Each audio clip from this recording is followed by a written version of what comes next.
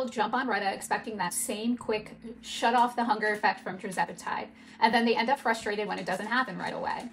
I get it. So let's clear it up. Both Reta and tirzepatide target the GLP 1 and GIP receptors, the ones that help regulate your blood sugar and suppress appetite.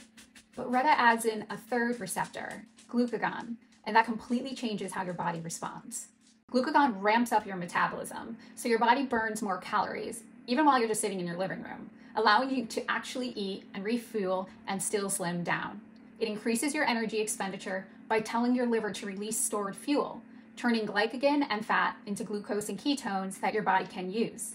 And it also enhances your fat metabolism, helping you tap into those fat stores more efficiently for steady, sustained fat loss over time. Tirz flips off the food noise switch fast, usually within the first injection. Reta can take a lot of time, maybe four to six weeks, sometimes even more. That's because it really needs to build up in your system and it's revving up your metabolism first. If you're switching from Tirz, the king of appetite suppression, you might feel a little frustrated at first.